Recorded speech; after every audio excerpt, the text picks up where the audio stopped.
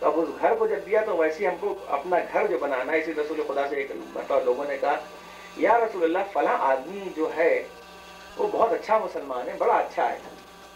अब पता नहीं क्या करता था उसकी तो मुझे कोई तफसील किताब में नहीं मिली कि नमाज़ पढ़ता था, कि रोज़ा रखता था, कि वो हज करता था, कि सजदे करता था, कि जका क्या, इसका मुझे कुछ पता नहीं। लेकिन इतना है कि पैगंबर ने एक मतलब नज़र उठाया कहा कि क्या कहा तुम लोगों ने? कहा कि फला आदमी बड़ा अच्छा मुसलमान है। बड़ा अच्छा मोमिन है, जो लफ्ज इस्तेमाल किया। मतलब ये कि बहरहाल, इस्लाम की पैरवी करने वाला बड़ा अच्छा है। सब लोगों ने कहा, इतनी अच्छा था कि रसूल की बस में बैठने वाले उसकी तारीफ़ कर रहे थे। क्यों? तो बड़ा अच्छा है।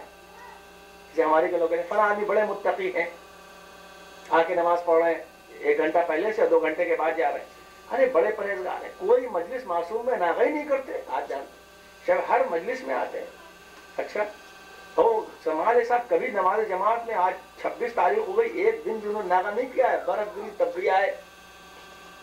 और साहब पानी बरस रहा है तब भी आए। हर हालत में आ गए मासूम में भी आ गए और हर सेंटर में नमाज़ मस्जिद में दिखाई दे रहे हैं। बड़े अच्छे मोमिन है ये कमाल बहुत मोमिन है। कुरान पढ़ रहे तो बहुत किरत से पढ़ रहे हैं। बहुत अच्छा कुरान क्या कर, दुआ देखिए क्या उमदा। सब कर रहे थे मालूम है घर में बीवी इंतज़ार कर रही है तीन बजे रात में पहुँच रहे हैं घर के अंदर। कोई ऐसी नमाज़ ऐसा रोजा ऐसा वो कोई भी अल्लाह के नज़दीक कोई काबिल कबूल नहीं है ऐसे आदमी का। इसलिए कि अल्लाह ने कहीं नहीं कहा कि तुम जमात पढ़ो जमात है, अहमियत है, लेकिन पहले बीवी बच्चों का ख्याल लाजिम। पहले अपनी फैमिली को मेंटेन करना लाजिम आदमी के लिए। इसी को हम नहीं समझे, इसलिए हमारे दरमियान में अख्तलाफात है। और उसके बाद लोग बहाना भी करते हैं मौलाना को ताकि अपने हाथ में ले लें। इसलिए फ़ौरन कहेंगे, हमारी बीवी मस्जिद में आने से मना करती है, हम मस्जिद आते हैं, बिगड़ जाती है, मुँह बन जाता है उसका। ताकि मौलाना समझे, ये बड़े नमाजी हैं। तो मैं कहता हूँ, अगर बीवी का मुँह बनता है तो घर में नमाज़ पढ़िए। आप दोनों खुश रहेंगे तो बच्चे खुद नमाजी बन जाएँगे। तवज्जो कर रहे ये हमारे मुआशरे दीन है तो पैगंबर ने आप नज़र उठाए कहा कि ये बताओ कि जिसकी तुम लोग तारीफ़ कर रहे हो कि वो बहुत अच्छा है। जब सब तारीफ़ करते हुए पैगंबर ने कहा, ये बताओ कि अपने अहलो अयाल के लिए, अपनी फैमिली के लिए कैसा है? तो उनका वो तो नहीं मालूम।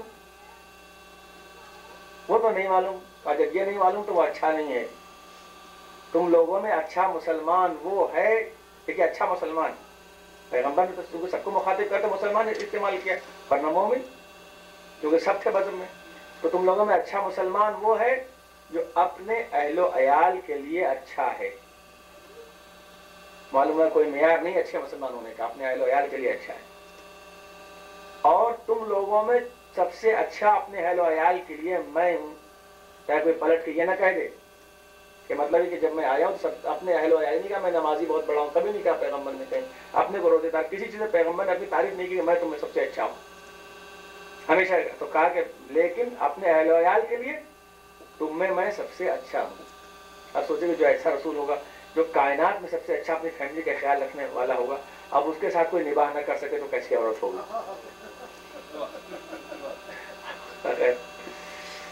और जो किया तो ये उसकी एक वजह यह है कि हम जो है, वो अभी तो बहुत लंबा चौड़ा मौजू है। तो हमारे अंदर ये है कि एक तो हम किसी कानून को एडाप्ट नहीं करते। मसल मशहूर है, मोहब्बत और जंग दोनों में कानून नहीं है।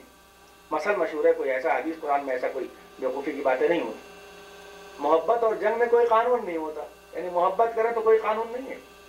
और जंग हो तो कोई कानून नहीं है, एक मसल मशहूर है। तो पहले मोहब्बत में कानून घर का टूटता है। पहले मोहब्बत में घर का कानून टूटता है जब मोहब्बत की लव मैरिज की या या, या शादी के बाद भी प्यार और मोहब्बत है। पहले मोहब्बत में कानून टूटता है और जब अगर मोहब्बत खत्म हो गई तो फिर जंग होती है उसमें भी कोई कानून नहीं है। तो जब कोई में मोहब्बत में कानून है जंग में कोई घर का क्या आलम होगा?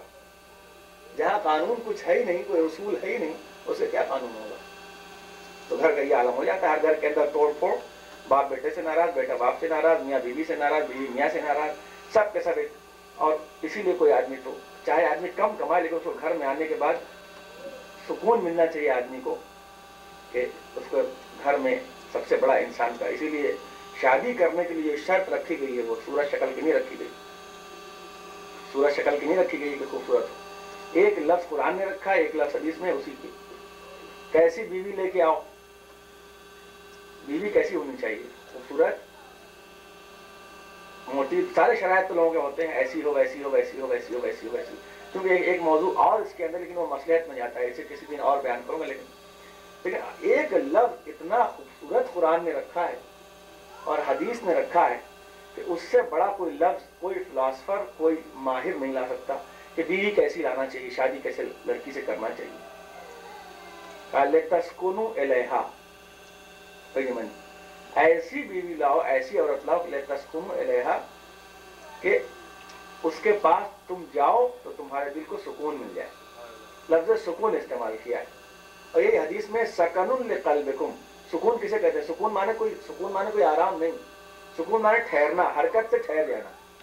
सुकून कहते हैं ठहर जाने को। इसलिए मिस्किन कहा जाता है। मिस्किन बिल्कुल अब उसके अंदर हरकत करने की ताकत ना हो। ऐसा आदमी कहीं से उसको कोई तो जहाँ आप जो परेशान रहते हैं टेंशन जहाँ पर आपका टेंशन रिलीफ हो जाए। तो टेंशन के माने हाथ से जब दिमाग छलांग लगाने लगता है एक दो तीन चार पाँच वही सोच जब हाथ से ज़्यादा रुकती नहीं है तो उसे कहते टेंशन जब आदमी के ख्याल की रव को कहीं रोके रुक, रोकना ना हो तो उसे टेंशन कहा जाता है।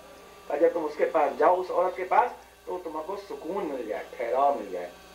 समझ रहे कि नहीं? ऐसी औरत लाना चाहिए। या क्या सब देखते हैं यही नहीं देखते।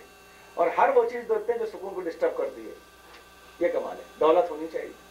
जहेज होना चाहिए। सब सुकून को डिस्टर्ब करने वाली चीज़। ऐसा नहीं कि आप उसे ये है। तो मेरा मतलब ये था कि घर में जो खराबियाँ हैं, क्यों हैं? कि हमने कोई कानून नहीं रखा है। न मोहब्बत का कानून, न जंग का कानून।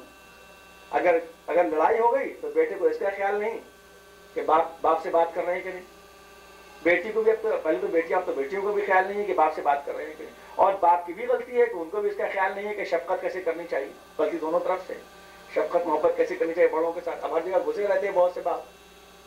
है ना? कि बहू ये क्यों कर रही है ये क्यों कर रहा है, तुमने ये क्यों किया, सुबह क्यों आए, दोपहर क्यों आए, हर वक्त बीबी के साथ क्यों घूमते अरे भाई आप बड़े हो गए, अपने किनारे बैठिए कभी कभी मिलिए हर वक्त क्या ज़रूरत है घुसे रहने की? तो उनकी भी गलती रहती है बुज़ुर्गों की जब जवानों को जवानों का डील नहीं करते। तो सब मिल के कोई कानून नहीं रह गया है, न शरीयत के कानून, न दुनिया के कानून। तो जब तक आप किसी चीज़ के लिए कानून नहीं अडाप्ट करेंगे डिस्टर्बेंस रहेगा, चाहे मुल्क का कानून होता है, वैसे घर का भी कानून होता है। तो अगर आप अंदर कोई कानून रखें, अब कानून बयान करने का तो मौका नहीं है इस वक्त। कि आप ये देखें कि शरीयत ने क्या कहा है? बीवी बीवी बीवी खत्म बात माँ अपनी जगह है, बीवी अपनी जगह है, बहन अपनी जगह है, दोस्त अपनी जगह है अपनी जगह है कि नहीं? लेकिन अब मैं आप तो जहनीत ये कि आप दस दोस्तों को बुला लें और दावत कर दें। बीवी खुश है? दस दोस्तों के लिए अब बीवी खाना पका सकती है। एक अपने ससुर और सास के लिए एक वक्त नहीं पका सकती। सही है। ये अजीब बात। अब रोज दावत करिए घर में चहल पहल का माहौल है दस दोस्तों को बुला लीजिए। रोज़ाना बिरयानी मुर्गा पुलाव ये वो मीठा सा कोई पच्चीस डिश पच्चीस दिन तक पच्चीस डिश पकवाइए पका सकती है। सास ससुर के लिए एक डिश पकाना उसके लिए दुष्कार हो जाता है। ये खैर ये तो हमारे माहौल तो मैंने बीच में जो बात की कभी अपनी आदत और फितर के मुताबिक मिजाज में कह दिया। कि ये है। अब हम ये सोचे ना कि बीवी अगर शादी की तो उसको कानून शरीर में रखा है। आप उसके हक अदा करिए, वो आपके हक अदा करें कानून के मुताबिक। खत्म बात। अब उसमें क्या होता है कि अब हमारे क्या एक माहौल और है कि अगर जरा सा फिर उसके बाद सबसे बड़ी चीज़ दुश्मन की शक होती है। अगर शौहर देर लगाता है, चाहे काम के लिए तो बजाय उसके सही चीज़ की तरफ़ औरत के दिमाग जाए, वो और शक करने लगती है। अब अगर शक बैठ गया बीवी और मियाँ के दिल के अंदर शक कब बैठता है? शक वही बैठता है, भाई कानून भी यही कहता है, शरीर भी यही कहती है। तुम्हारी ये ज़िम्मेदारी नहीं कि क्या हुआ होगा, तुम ये देखो। जो आँख से देखो, उस पर अमल करो। शोहर ने कह दिया कि हम गए थे अपने जॉब के लिए तो जाके कुछ भी कर रहा हूँ, हमसे क्या मतलब? बीवी को आप घर में छोड़ के क्या कर सकते हैं? आपसे क्या मतलब बीवी क्या है? आपसे आप जो देखें और अपनी ज़िम्मेदारी अदा करें, दोनों आदमी, उसके अलावा आपसे कोई मतलब नहीं। अब कुछ काम अल्लाह पर भी तो छोड़ना चाहिए। और उसने गलत किया, अगर शोहर खुदा ना खास्ता, गलत रास्ते पर जा रहा था। हमको बीवी की हैसियत से, कानून के मुताबिक भी, और क्या नाम है, शरीयत के मुताबिक भी शोहर बीवी की हैसियत से हमारा ख्याल रख रहा है, और शोहर बीवी की हैसियत से बीवी शोहर का, बीवी की हैसियत से ख्याल रख रही है। अगर सिस्टम ठीक है तो पीछे जाने की ज़रूरत नहीं कि अंदर क्या होगा। उसी में मामला खराब होता है कि अंदर क्या हुआ होगा। ना शरीयत कहती है, ना कानून कहता है। और लोग हमारे क्या क्या है कि हम यही सोचते हैं कि इसके पीछे कुछ होगा तो जो शक में दिमाग दौड़ता है, उससे खैच के जाहिरी कानून देखना चाहिए बस। वो छोड़िए, अगर वो गलत है तो अल्लाह उसको देगा। बीवी गलत है वो अल्लाह जाने आपसे क्या मतलब उससे। तो की तो हम लोग जो नहीं देखते, उसी पर बहस करते रहते और ये शैतान का सबसे बड़ा धोखा होता है। इसलिए हम अगर अपनी ज़िंदगी बनाए तो बेकान शरीयत और के कानून के मुताबिक अगर एक दूसरे का ख्याल रखें तो कभी भी झगड़ा और फसाद नहीं हो सकता। लेकिन हमारे यहाँ कानून की तरफ़ थोड़ी तवज्जो है शरीय की तरफ़। इस्तारा दिखाने आएँगे, मौलाना इस्तारा दे दीजिए फला शादी हो जाए। अच्छा हम बहुत, मैं बहुत नरम यहाँ रहता हूँ, आप लेकिन मैं इस मामले में बहुत सख्त हूँ, जो आता हूँ। ऐसी बात नहीं, इसलिए अगर अगर हम ही नरम पड़ जाएँगे तो सब मामला खराब हो जाएगा। मौलाना इस्तारा दे दी लड़की की फला शादी कर दे। मौलाना साहब भी उठे इस्तारा कर दिया। हाँ बहुत, माशाल्लाह, आए तो ये निकली है। यूसुफ जुलेखा के ऊपर नहीं और जुलेखा, यूसुफ क्या आयत निकली है, क्या कहना मेरी भी राल टपक रही है, आपकी बात क्या है? आयत देख कर खुश। मौलाना से कहते खुश चले आ रहे आप तो बहुत बड़ी, इतनी उमदा शादी की, ऐसी आयत निकली कि मेरी लाल टपक रही है, आपकी बहुत दूर की बात है। माशा अल्लाह अल्लाह मुबारक करे, चले जाइए। समझे आप? अगर मना आ गया तो मना आ गया अगर इस्तेफा। तब तो अगर लड़की अच्छी है, लड़के वाले दिखा रहे लड़की तो बहुत अच्छी है क्या कहना वो दूसरे मौलाना के पास चले जाते हैं। उससे इस्तारा करा, अरे भाई किसने कहा था? ना इस्तारा वाजिब है, न इस्तारा ताकीद है, कुछ भी नहीं है। अरे जाके कर लेते अच्छी थी तो। किसने कहा था इस्तारा करके परेशानी है, ले जाओ। ऐसी हद पर खरी तो अलग बात। उन्होंने क्या बहुत अच्छा जो मेरा मौजूद था बीच में। वाह वाह, मौलाना। कहने, क्या है निकली अरे मौलाना, क्या बताएँ, वो लड़का जो है ना, वो मान नहीं रहा है किसी तरीके से। और उसने एक लड़की को पसंद कर लिया है और उसको बहुत चाहता है, क्या बताओ मान नहीं रहा है। अच्छा मैंने हमने दोनों ने तय कर, इस पर हाजिर हो गया कि अब्बा इस्तारा करा लीजिए। हमने इस्तारा मौलाना इस्तारा कर दीजिए। अगर आ जाएगा तो ठीक है, और नहीं आएगा तो कोई बात नहीं, लड़का भी इस पर आ है। मौलाना ने इस्तारा किया, उसके बाद आयत निकली कि जनाब, एक, दो लड़कियाँ थी और साफ़ पानी खींचे थे कुरान का वाक्य सुना है नहीं? और जनाब मूसा वहाँ पर गए और उसके बाद पानी खींचा और वो लड़कियों के साथ आए और कहा कि ये बड़ा ताकतवर है और अब्बा हमारी से शादी कर दीजिए बड़ा अच्छा है। दोनों की शादी हो गई लव मैरिज बिल्कुल कामयाब है। लड़के लड़की का तो बात है? मूसा लड़कियों को लेके आए थे, मदद किया कुरान में आए थे। हाँ तक उनकी लड़कियाँ पानी भर रही थी, कुएँ के ऊपर जनाए मूसा गए, उसकी मदद कर दिया। मदद कर दिया और उसके बाद उनके गए और उसके बाद उन्होंने शादी को अरे, बहुत उमदा साहब, यही तो आए थे। लव मैरिज के लिए तो यही आए निकलते और तैयार, उनका मुबारक यानी कानून जो शरीयत ने नहीं कहा है, ठीक है, मुस्तहब है इस्तारा शादी के लिए। जो वाजिब नहीं किया है जो हराम नहीं किया है इस्तारा करा है, उसके बाद जब शादी कर रहे हैं तो मालूम हुआ कि पूरे जितने हैं, सब बेपर्दा उसके अंदर। हराम काम हो रहा है, बाजा उसके अंदर बज रहा है, उसके अंदर के ऊपर म्यूज़िक चल रही है। नाच गाना जितने भी स्टेटस अल्लाह ने दिया है उनको दुनिया के अतबार से, वो सब स्टेट मतलब स्टेट जा रहे हैं ना। स्टेटस का मतलब सिरात मुस्तकीम पर चलने वाले स्टेट ये है, माशरे में खराबी है निकाब अब वो, यानी जो अल्लाह ने नहीं कहा था, वो इस्तारा करवा रहे हैं। और हराम काम पूरे के पूरे घर में जो अल्लाह ने कहा है, वो बस। जो अल्लाह ने कहा है, यानी निकाह से फायद भाई, अगर आप हदीस देखें तो इश्तेहार नहीं कर रहा हूँ। एक बात मेजान में लेकिन गलत नहीं। अलगनाव अशद मिन ये तो है कि नहीं? गना जो है, यानी जो गाना बाजा जो होता है, जो कहा गया है कि ये जिना से भी बदतर है। इसलिए कि खैर इसकी वजह अलग, इसकी कोई मौजूद नहीं मतलब मुख्तसर यह है कि अगर आदमी जना करता है तो मजबूरी में करता है और जना जो है वो हज़ारों को जना पर उभारती खैर, अब चले अब सारा हराम हुआ भाई, हराम फला मौलाना, फला, अरे मौलाना है, बहुत अच्छे मौलाना है क्या करे, नहीं साहब, क्या अच्छे हैं? लड़की के लिए इस्तारा निकलवाए तो फ़िलहाल हो गए।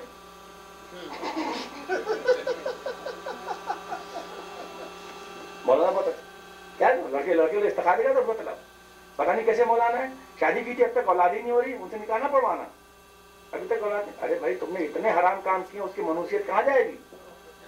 तो इस्तारा थोड़ी उस मनुष्यत को दूर करेगा। तो नहुसत आती है गुनाह की दुनिया में भी और आखिरत में भी। तो जो अल्लाह ने कहा है, आप वो हराम और तरीक को छोड़िए और वाजिब को अपनाइए, ताकि आप शरी ज़िंदगी अपनी पूरी गुजारने के आदि बनी थोड़ी ट्रेडिशन चले आते उसके बाद से। तो जब तक आप उस कवान में शरीयत को अडाप्ट नहीं करते, उसके बाद से नहुसत आती है। तो मौलाना इतना किया था तब भी नहीं, इतना कार्य कर किया था माजल्ला कहने लगते वो भी जाए तो इसलिए घर का माहौल हमारे ख्याल हम ये सोचे अपने घर के अंदर मियाँ और बीवी दोनों किताबें पढ़ के मसाइल देखकर कि हमारी क्या ज़िम्मेदारी खुदा की तरफ़ से मियाँ की बीवी के लिए बनती है, बीवी की मियाँ के लिए बनती है, और बाप की लड़के के लिए क्या ज़िम्मेदारी बनती है। कह लेंगे क्या बताया अमेरिका, बहुत से लोग आ रहे हैं मौलाना अमेरिका आके बहुत पछता रहे हैं। हमारे आप यहाँ के पटना का बैठ नहीं पछता रहा बड़ा मज़ा आ रहा है। यहाँ एक रुपए जो है, चालीस रुपए के बनते हैं। क्यों पछता रहे? ये लड़की और लड़का ऐसा होगा कहा? आपने हफ़्ते में छह दिन तो भेजा था वहाँ पर। और एक दिन संडे को बेचारे याकूत साहब जो है, वो माँ गाड़ी भी भेज रहे हैं और ये भी भेज रहे हैं परेशान है। यहाँ तो आपने भेजा नहीं हो। जब नालायक निकल गया तो परेशान होकर मौलाना के पास आ रहे हैं। तो मौलाना क्या का मौलाना के पास कोई जादू मंत्र तो है नहीं। तो दस साल की बीस साल के खराब लड़के को आके सुधार देंगे पास मंत्र तो नहीं है ना मौलाना छू देंगे तो, तो बहरहाल तो वही मैं अक्सर यहाँ पे जुमला कहता हूँ भाई क्या मौलाना सब तावीज दे दीजिए अब अब मोहब्बत कर रहा है। क्या बताएँ? अमेरिकन लड़की से मोहब्बत कर लिया। तो बहुत अच्छी बात है अल्लाह उसको बरकत देगा उस बच्चे को बेचारे को शायद वो शिया बना दे उस लड़की को। ज़िंदगी भर कार्यकाल लिखा जाएगा। अब उसमें लोग यहाँ तक पहुँच जाते हैं। अब मैं कहना ही पड़ता मुझे मज़बूत हुए तबलीग के लिए ज़रूरी है। कि अपने खानदान की इज़्ज़त के लिए एबॉर्शन तक करा देते हैं, जान चली जाए, चाहे किसी आदमी के खानदान की इज़्ज़त बन जाए। कितना इंसान अपनी अना के अंदर वो है, खानदान की इज़्ज़त चली जाएगी। हाँ तो पहले से, जब तक पहले से कंट्रोल नहीं करेंगे आप, तब तक जब हाथ से निकल जाएगा, चिड़िया चुप गई खेत, फिर न तावीज उवीज कोई काम नहीं आ सकता है। समझ रहे हैं कि नहीं? तो आपने उस पर तो सिखाया तावीज दे दीजिए, तावीज तावीज जो है वो बेहतर हराम, हलाल से आप बचे खुद अरे हलाल का काम करें, हराम से बचे, तब बरकत होगी ना। कौन है? अरे खुद जो लोग कमा रहे हैं, जितने लोगों ने यहाँ कुरान पढ़ा है, मैं साफ़ करूँ, जो लोग कुरान पढ़ते हैं या जिनको देखा गया है, वो जयीफ लोगों पर पहले खुद वाजिब है कि अपने कुरान को सही करें। वक्त निकाल के मैंने कहा, वो अपने दुआ को सही करें। तो जब तक वो अहल अयाल की ज़िंदगी नहीं होगी तो आदमी को फ़ायदा क्या है? और देखिए, सारे गुना उसी से बीवी बच्चे अच्छे नहीं है, घर में सुकून नहीं मिल रहा है, शराब पीने लगे। देखिए फैमिली लाइफ है शराब के आदमी थोड़ी पीता है। सुकून और चैन की तलाश में पीता है बेचारा। मज़ा थोड़ी आता है उसे तो हलक जलती है। हलक जलती है ना लोग यही कहते हैं बहरहाल। हाँ, उससे जलती है अभी तो कुछ चीज़ें तो ऐसी जो प्रैक्टिकल भी नहीं समझी जा सकती ना। ये भी तो मुसीबत है।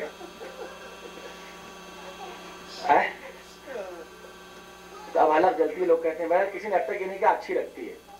शराब अच्छी नहीं लगती। शराब पी के अच्छा लगता है। तो अब क्यों? शराब पीने के बाद अच्छा लगता है। अच्छा थोड़ी लगता है। बेखुद, हर लम्हा बेखुदी। अब पिए चले। क्यों? चैन की तलाश में। रात को चले जा रहा हूँ, चैन की तलाश में। आदमी जब फैमिली हो, चैन की तलाश में। सारे आदमी चैन की तलाश में लोग रहते हैं। और अगर कुछ न मिले चैन की तलाश में तो शराब नहीं पी सकते, कुछ नहीं कर सकते। तो सबसे अच्छा ये है कि तुम लीडर बन जाओ। देखिए है ना? तो ये सबसे बड़ी चीज़ है कि आदमी शराब पी रहा है, बाहर जा रहा है, घबरा रहा है, गलतियाँ कर रहा है, चैन की तलाश। उसे चैन मिल जाता तो सब, एक फैमिली लाइफ सब करा तो कानून शरीयत को आप अपने बच्चों को बताएँ और उसमें किसी किस्म की रियायत न बरतें। सुबह बच्चे को नहीं उठा रहे। अगर अगर इस वक्त तीन बजे रात का अमेरिका में स्कूल कर दिया जाए या बर्फ़ गिरने के बावजूद भी अगर कंपलसरी हाजिरी हो जाए तो क्या आपने बच्चों को आप नहीं भेजेंगे। जाते हैं नहीं जाते हैं? उसमें भेज देंगे। लेकिन इसके लिए कोई तैयार नहीं एक पूरा फलसफा है, ये थोड़ी है कि बस यहाँ के बराबर चाहते हैं मौलाना साहब थोड़ी सी बात बताते होंगे, उससे कोई हल नहीं निकलने का।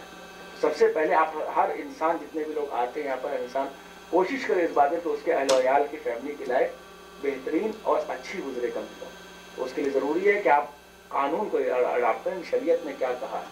है तुम्हारी ज़िम्मेदारी अदा कर दीजिए पर अगर कोई बीवी कोई बात कह तो उसके बाद तुम्हारी ज़िम्मेदारी नहीं तो हमसे ऐसी बीवी को शवा से भी कहना चाहिए। कि आप इससे ज़्यादा मुतालबा नहीं कर सकते? तो तो कोई बताइए नमाज़ रोज़े कोई कानूनी शरीय किसी को मालूम है? क्या है? हमारे तो महर ही अदा करने का रवाज नहीं। महर के ही अदा करने का रवाज नहीं। है ना? महर के अदा करेंगे, देखा जाएगा। हाँ बीवी से माफ़ करा लेंगे मरते वक्त। या कभी बाद में। अभी शरीयत ने कहा है कि तुम महर दो। उसके बाद चले आ रहे हैं हम तो बिल्कुल। जनाब सैदा का हम महर रखेंगे। अभी जनाब सैदा ने नहीं कहा कि हमारा महर रखो। उन्होंने कहा है कि तुम हमारे मानने वाले हो।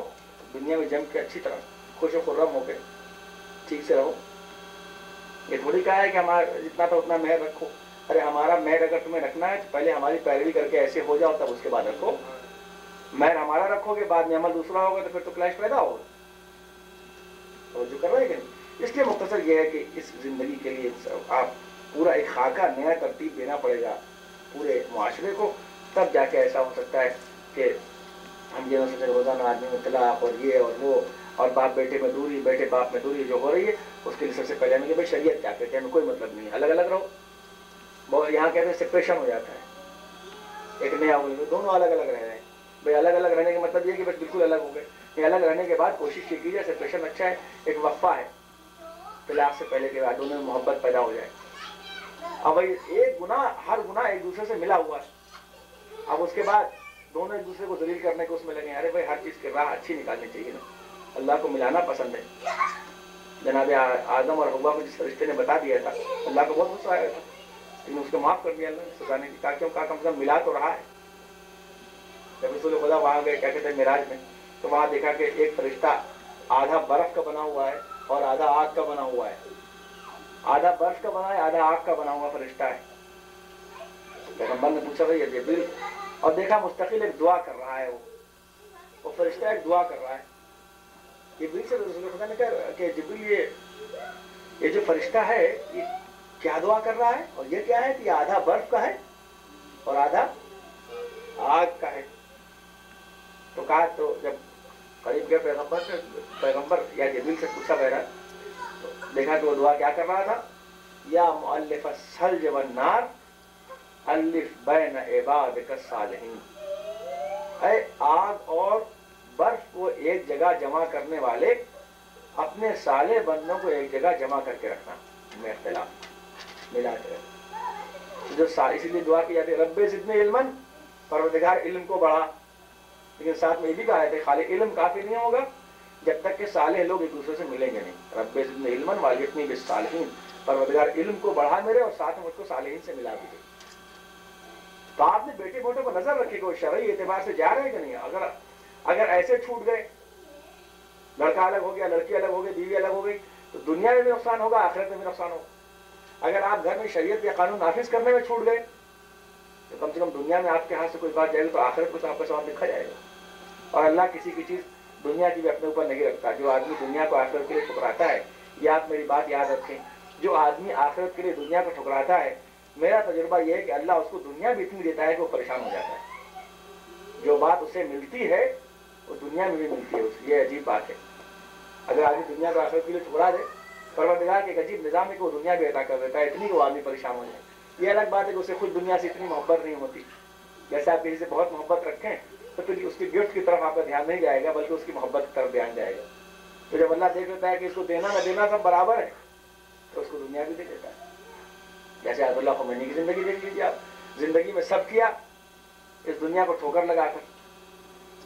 फिर अल्लाह ने दुनिया भी अदा की, और आखिरत भी अदा की, शहरत भी अदा की, मकबूलियत भी अदा की, मोहब्बत भी अदा की, और उसके बाद आखिरत में तुमको मिलने ही मिलना इंशाल्लाह। जो आदमी दुनिया को आखिरत लिए ठोकर लगाएगा, अल्लाह उसको दुनिया भी देगा। अगर आप अपने बेटों पर सख्ती करेंगे कि मुझे कोई नहीं चाहिए, मेरे बच्चे, इनको इस्लाम में सख्त होना चाहिए तो इन ताला आपको इस दुनिया में भी एक बीवी छूट जाएगी, कोई बात नहीं, दूसरी उससे अच्छी मिलेगी, घबराए नहीं आप। खैर नहीं इंशाल्लाह वही अच्छी हो जाएगी। ये अच्छा खाली बीवी तो बुरी होती है ये मैं इसे नहीं कहने की बीवी है। बीवी क्या बुरी है सबसे पहले शवहर बुरा होता है, तब बीवी बिगड़ती है? पहले शवहर बुरा होता है, कोई बीवी नहीं बिगड़ती। बच्चा पर मैं कोई औरतों की नहीं कर रहा हूँ मुआफिक पहले शवहर बिगड़ता है, तब बीवी बिगड़ती है। या समझ में वरना बीवी कहीं बिगड़ती नहीं आप पहले इंसान जो है, वो शोहर जो अपने शोहरियत के ख्याल नहीं रखता कि वो शोहर है। और उसको क्या कानूनी इस्लाम इस्लाम क्या कवाएँ अपनाने चाहिए? जब वो हटता है है। है कि नहीं? आप सारी शिकायत पूरे मुआशरे का जायजा ले तो मुख्तसर है कि आप अपने ज़िंदगी में, अपनी फैमिली में ये मासूम कि यहाँ मासूम में आ गए, सेंटर में आ गए तो यहाँ कानून, मस्जिद में आ गए, इमाम में आ गए तो यहाँ कानून ज़रूर देख लेंगे बेचारा मौलाना एक हल्की सी गलती कर दे कुनूत भूल जाए, रुकू भूल जाए तो झाड़ू लेके उसके पीछे पड़ जाएँगे। उसकी परेशान कर देंगे जरा गलती होना विश्वास है ना? क्या करें लोग बेचारे? हम भी माफ़ इसलिए कर देते हैं क्योंकि बेचारे लोग इतने ज़्यादा कमजदा हैं कि बीवी से बोल नहीं पाते हमसे बोल लेते हैं सब आप लेगा कोई बात है ना? बहरहाल अल्लाह बहुत बड़ा है। मुख्तसर ये है कि लेकिन घर के अंदर नहीं से ख्याल अल्लाह सबकी मोहम्मद आलम सबके में इंशाल्लाह फैमिली को अच्छा और हर तरीके से बेहतरीन से बेहतरीन रखे। और हमेशा दुआ कीजिए जिस चीज़ की परवरदिगार हमारे ये दुआ, कितने लोग करते हैं ये दुआ? हमको दौलत मिल जाए, जॉब बड़ा हो जाए, ये जॉब उससे अच्छा मिल जाए सब मिल जाए। अरे ये दुआ क्या चीज़ है? दुआ मकसद की करो, दुआ रास्ते की ना करो। दुआ मकसद की करो। ये तो पैसा तो रास्ता है, जॉब तो रास्ता है, बिज़नेस तो रास्ता है। मकसद तो तुम्हारा कुछ और है। वही मैंने कहा, अगर सब मिल गया, ठीक है, अल्लाह दे दिया पैसा, दे दिया जॉब, दे दिया होगा लेकिन अगर घर में सुकून नहीं मिल रहा है तो बेकार है। बल्कि कुछ कौमों की चाहे वो गैर कौम के सही, मुझे इस बात उनकी पसंद आती जब मैं देखता हूँ कि शायद उनका तो अल्लाह को ये बात पसंद होगी कि वो अपने बीवी बच्चों का बहुत ख्याल रखते हैं। हमारे यहाँ सिख लोग हैं, मैं उन्हें देखता रहता हूँ, और बहुत तरक्की आता है। तो हदीस में ये है, सुनिए, हदीस तो मैंने, हदीस में कि अगर कोई अपने अहलो अयाल का ख्याल नहीं रखेगा तो मोमिन भी होगा तो हम उसे इस दुनिया में बर्बाद करेंगे। मोमिन, इस दुनिया की बात है। वहाँ मोमिन को जो मिलेगा, देखा जाए, वहाँ की बात तो अलग है अब मैं इस मौजू पर, वीडियो पर आपको मौजूद दे रहा हूँ, इंशाल्लाह, इसके बाद जब पढ़ूँगा, कल तो ये बताऊँगा कि इस्लामी व मज़हब इसका जो आखिरत नहीं बताता, सिर्फ़ दुनिया बताता है। आखिरत का कोई ताल्लुक नहीं है। आखिरत को छोड़ दीजिए सोचने की। आप सिर्फ़ दुनिया को सोचें। आखिरत को सोचने की कोई ज़रूरत नहीं है। ये कल बताऊँगा आधा आधा मौजूद छोड़ रहा हूँ, सिर्फ़ दुनिया सोचिए इतनी बात। मौजूद क्या है? बात। मतलब बात तवील हो जाए कल मैं इंशाल्लाह इसी पर छब्बीस जुमा शब बखैर पढ़ूँगा कि आखिरत को मत सोचिए सिर्फ़ दुनिया को सोचिए इंशाल्लाह तो बा, तो, बा, तो पर और अगर काफिर भी अपने अहल वयाल का ख्याल रखेगा तो मैं उसको आबाद करूँगा इस दुनिया के अंदर अल्लाह ने कहा तो जो नहीं के तो इसे मैं देखता हूँ अपने क्या कुछ कौमों को कि जो अपने कि भाई मैं कहता हूँ, ये अजीब है इतने खूबसूरत खूबसूरत लोग साहब कमाल है। ऐसी बदसूरत खाली बीवी बस नज़र तो उठती है भाई हमारी भी तो आँख है। जब बाहर निकलते हैं, पैसा तो नहीं है हम झूठ तो नहीं बोल सकते, भी सब कर सकते हैं। हमें दिखाई नहीं दे रहा है।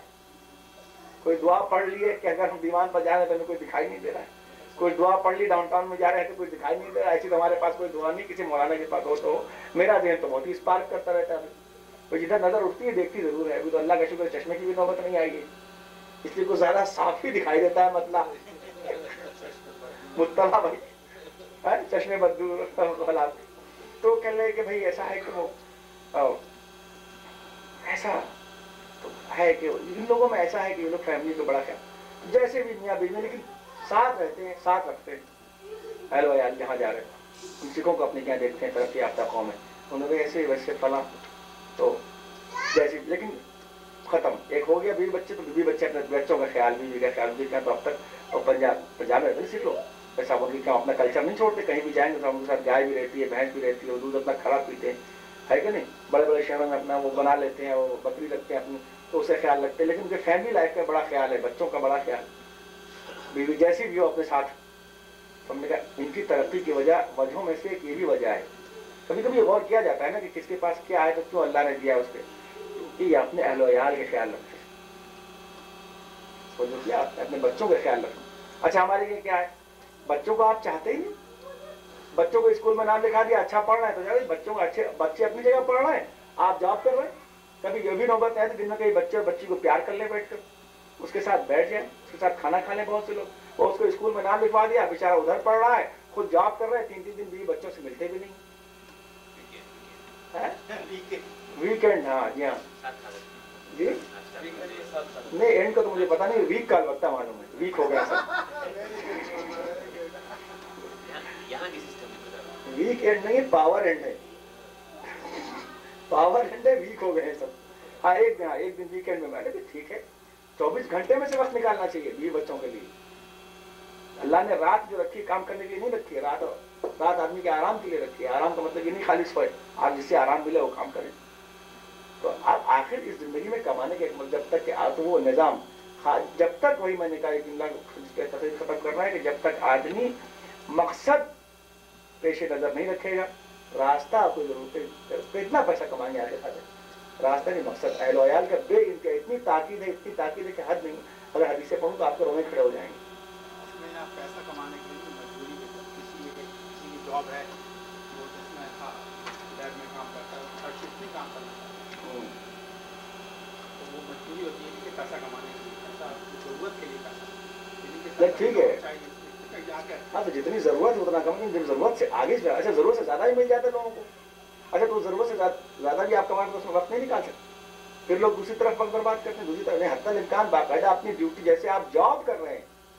बस तो जैसे आप जॉब कर रहे हैं कि एक मिनट लेट हो जाएँगे, वैसे वही हमने कहा, मोहब्बत का मतलब ये नहीं कि जो चाहे करें ना करें। मोहब्बत का मतलब इसको भी अल्लाह की तरफ़ से एक जॉब समझिए। इसके लिए औकात मुहैन करिए बच्चों का हक अदा करने के लिए भी। आखिर एक जॉब उसको भी एक अल्लाह जॉब के माने ज़िम्मेदारी? है कि नहीं? वैसे बीवी की बुराई तो नहीं कर सकती ये वीडियो बन रहा है गए बंगलों के कहीं भेज देंगे तो हो जाएगा। इसलिए जरा बीवी ज़्यादा तारीफ़ करनी पड़ेगी। तो उसको ज़िम्मेदारी, यानी पूरा इस्लाम कुछ भी नहीं है, अलावा ज़िम्मेदारी के अदा करने के। आप उसे ज़िम्मेदारी समझें। और ज़िम्मेदारी जब अदा कर रहे हैं आपको तो उसके बाद अल्लाह ये कहता है कि हमने, अब अगर तुम्हें कोई औरत परेशान करती है तो तुम्हारे लिए तलाक रखा दे दो छुट्टी। वरना अल्लाह ने कहा है कि जिन लोगों की फरियाद नहीं सुनेंगे उनमें वो भी लोग हैं तो जो लोग अपनी बीवियों के लिए अल्लाह से फरियाद करेंगे बहुत परेशान किया अल्लाह कहेगा तिलाक रखा तो, तो क्यों नहीं आराम किया? तो एक अलग अलग मौजूद हैं तो गलती हमारी तरफ़ से खुद होती है। हम कहते जितना आप जॉब कर रहे हो उसमें वक्त निकाल सकते हैं। भाई साथ चले गए। दोनों आदमी सब गए ठीक है गाड़ी बीवी से कहा बीवी अगर नहीं जॉब कर रही आप जॉब कर रहे हैं? मालूम है लंबी ड्राइव है। हाँ ठीक है और कोई बात नहीं हम लोग दोनों साथ चले जाते हैं थोड़ी देर के बाद चले आते हैं इससे आप आखिर लोग साथ साथ काम करते हैं। मैंने वो प्लेन के अंदर देखा लोगों को कि वो साथ जो लोग बिज़नेस क्लास में बैठते हैं अपने साथ टेप भी रखते हैं दो दो तीन तीन काम एक साथ कर रहे हैं वो एक साथ लिख रहे हैं बीच में कुछ याद आ गया उसने कैसेट में टेप भी कर लिया ताकि सिक्योरिटी को दे देंगे नोट कर लेके जाके। तो अगर आ, अगर इंसान चाहे निकाल आप गौर करें ज़िंदगी का दोनों गौर करें। बीवी की भी सोचना चाहिए तो सिर्फ़ मियाँ बीवी की तो बात है ये गलत है बाशुदी खाली मियाँ बीवी के ताल्लुक खराब है। बाप बेटों को भी ताल्लुक तो खराब है आजकल। उस पर ज़ोर नहीं है। कि नहीं? माँ बेटे के भी ताल्लुक बाप बेटी के भी ताल्लुक सही नहीं तो बहर उसके अंदर मुख्तसर यह है कि उस कवानीन को हमने अब कितने घर में कितनी आपने किताबें जो कितनी किताबें दुनिया में लोयाल की ज़िंदगी पर लिखी गई हैं। हमारे घर में कितनी है हमने सोचा हो कि हम इससे पढ़ सकते हैं। हम चले जा रहे हैं, आप अमेरिकन कोर्ट के अंदर उनके को वहाँ जाके हम ऐसी बातें करें। कभी नहीं सोचते कि किसी के पास जाके शरही ज़िंदगी, वो भी कब जाते हैं, कौन बहुत दिन के बाद? बहरहाल की इतना लंबा मौजूद नहीं की थी काफ़ी देर हो कि जल्दी आपको समझा सकें। लेकिन हद तक इम्कान उसके अंदर, और दूसरी बात इसमें एक बात और मैं आपसे बयान कर दूँ कि जो घरों का तजर्बा ये है कि जितने शौहर हैं, वो बीवी से छोटी छोटी बातों पर बहस करते हैं। तो ये बहुत कैसे जाए तो मैंने बड़ा गौर किया। अरे भाई छोटी छोटी बात, बीवी के लिए हम ये लेंगे तो आप कह रहे हैं वो लेंगे। वो कह रहे हैं हमको ये मकान चाहिए, बीवी के लिए? दोनों कीमत की बात अलग अगर कह रही है दस लाख की इतात है तो उसका हुक्म हो जाएगा। हमको ये चाहिए आप है। हमको घर में ये वाला टीवी चाहिए, बीवी है मियाँ कह रहे हैं ये लेंगे। वो कह रहे हैं, हमें ये चीज़ खाने के लिए पकाना है तो अरे थोड़ा सा सब्र भी कर ले मर्द तो क्या हो जाएगा? उसको सही तो छुपाना है, उसको एक बिस्तर चाहिए, एक छत चाहिए, पंखा चाहिए, एसी चाहिए, हीट चाहिए, हो गया इंतज़ाम तो कोई ज़रूरत थोड़ी के बाद वो बाकायदा बीवी से बराबर के बैठ शुरू कर देते हैं। मुकाबला, नहीं, मेरी बात ऊपर। तो मेरी बात ऊपर, वो कहते मेरी बात ऊपर ही। कभी कभी थोड़ा सा हमने देखा है चूँकि ऐसा तजुर्बा लोगों का तो मर्द बीवी से लड़ा जा रही मेरी बात ऊपर थोड़ी देर जरा अपनी बात नीचे कर लीजिए। है ना? थोड़ी देर ऊपर ठीक है, दिल रखने के लिए। इसलिए कि आपको बाहर दूसरी मसरूफियात हैं, उन लोगों के जिनकी बीवियाँ घर में रहती हैं। औरत के लिए कोई दूसरी मसरूफियत नहीं होती। उसके लिए घर ही सब कुछ होता है। इसलिए ये तो बिल्कुल औरत जाप करे, औरत का जाप हालात के अतबार शरीयत ने कहा है, ठीक है, हराम तो नहीं है। फिर औरत का जाप मजबूरी है, मजबूरी में औरत जाप कर सकती है। मजबूरी के अलावा औरत को जाप यहाँ नहीं करना चाहिए, बल्कि औरत को पूरी, पूरा अटेंशन बच्चों पर और घर की ज़िंदगी पर देना चाहिए।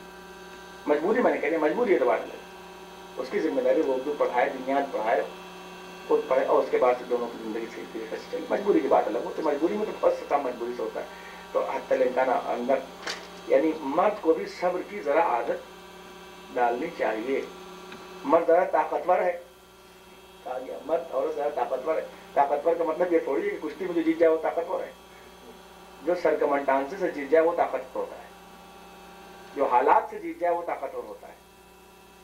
हालात का मुकाबला जो करे जो, जितना सब्र करेगा उतना बड़ा ताकतवर होगा याद रखेंगे ठीक नहीं? तो बहुत वक्त इतना लंबा चौड़ा मैं इतनी देर से ये सोच रहा था कि कौन सा एक ऐसी दुआ भी बताता चलूँ जो आपके अहलो अयाल के लिए ज़्यादा मुफीद हो। तो अभी तक ऐसी दिमाग में नहीं आ रही थी। मैं तकलीफ़ लंबी कर दी बहरा। लेकिन इसलिए वही बात हुई कि दुआ मैं बता दूँगा, दुआ जो है वाजिब तो है नहीं। पहले वाजिब नमाज़ खुद बीवी घर वाले वाजिबात को पूरा करो। कितने आप रोजा नहीं रख पाते तो उसका कफारा। और इसके अलावा, अब जिनको तलाश है, कुरान की एक आयत वो पढ़ लिया करेंगे नमाज़ के बाद। फातिहा समावात वल अर्ज़, अंता वली दुनिया वाला आखिर तो मुस्लिमीन। कि जो लोग कुरान मजीद की इस आयत की तिलावत नमाज़ के बाद करेंगे तो अगर उनके दिल में किसी कार खैर की तलाश होगी और वो कार खैर अंदर से कोई अच्छा काम करना चाहेंगे तो अल्लाह, इस आयत की बरकत ये है कि अल्लाह उनके लिए रास्ते मुहैया कर देगा इंशाल्लाह ये फातर समावात वल अर्ज़, अंत वली फ़ी दुनिया वल आखिरह इन्नी तुब्तु इलैका व इन्नी मिनल मुस्लिमीन। कल मैं आपको देख के इसका वही बता दूँगा कि किस बारे में और कहाँ के ऊपर क्या आयत है नमाज़ के बाद चंद मरतबा पढ़ ले चार छः मरतबा। तो उसके लिए सबसे बड़ा वो फ़ायदा ये है कि अगर कोई आदमी कार्य खैर की तरह मस्जिद बनाना चाहते हैं, ये बनाना चाहते हैं लोगों नहीं बना अल्लाह उनके लिए रास्ते फराहम कर देगा। एक दूसरी बात यह है कि सब सब काम तोफ़ी इलाही पर मुनसर है। और जोहर का नाफिला अगर आदमी दो रकत भी पढ़ ले तो जोहर के नाफिले की खसूसियत ये है। दो रकत अलहम से पढ़ लीजिए खाली। पूरी ना मिल पाए तो नाफिला थोड़ी भी पढ़ सकते हैं। एक तो एक रकत तो नहीं पढ़ सकते, क्योंकि वो दो रकत कंप्लीट है। इसलिए आठ में दो पढ़ सकते हैं। तो जोहर के नाफिले का भी फ़ायदा ये है कि हर नाफिले का अलग अलग फ़ायदा लिखा है। इसका ये इसका ये, इसका मतलब ऐशा की नाफिला जो बैठ के पढ़ी जाती, उसका फ़ायदा ये है कि आदमी को रोज़ी में बरकत होती है। लेकिन जोहर के नाफिले का फ़ायदा ये है कि आदमी की तोफ़ीक़ात इलाही में जाती होती है।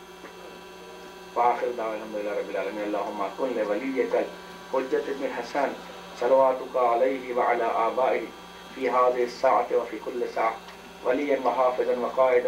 व दलीलन व ऐना तुस्किनहु अर्ज़क तौअन व तमत्तिअहु फ़ीहा तवीला और मोहम्मद वाले मोहम्मद का वास्ता जिन जिन घरों के अंदर अहलो अयाल के लिए परेशानी पर उन्होंने इत्तेहाद इत्तेफाक अता फरमा शवर और रोजा के दरमियान मोहब्बत में इजाफा फरमा और हमारे बुज़ुर्गों हमारे साहिब सरों पर कायम और दायम रख हमारे बच्चों को मोहब्बत अहल बैत में इजाफा फरमा परवरदिगार हमारे बच्चों को माँ बाप की फरमा बरदारी करने की तोफ़ी अता फरमा हर खैर अता फरमा हर शर को हमसे दूर रखना माह मुबारक की बरकतों से हमें परवरदिगार महरूम न रखना परवरदिगार मोहम्मद अहमद के वास्ते हमारे घरों से हमारे रोमे रोम से असबाब नौसत को दूर फरमा हमें असबाब खर बरकत अंजाम देने की तोफ़ी अता फरमा सब बना